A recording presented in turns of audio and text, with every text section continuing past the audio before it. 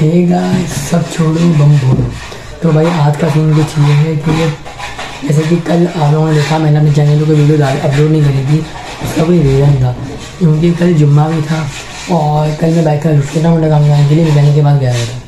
लेकिन इन अब जो आपको वीडियो मिलेगी, वो लंबी भी होगी और अच्छी भी होगी।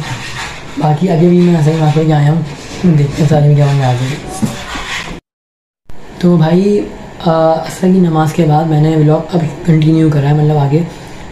मैंने आप लोगों को बोला था कि देखते हैं अफ्तारी क्या बनती है, लेकिन अफ्तारी में मैं ब्लॉग आना भूल गया था बिल्कुल। मतलब मुझे याद नहीं था कि मेहमान आ गए थे घर में ना। तो अब मतलब मैं अफ्तारी का फिर नहाया वहाया, कपड़े वपड़े चेंज करे। उसके बाद मैं अफ्तारी हूँ अब मैं जा रहा हूँ तरावी पढ़ने के बाद। तरावी पढ़ने के बाद इन ब्लॉग कंटिन्यू करेंगे आगे।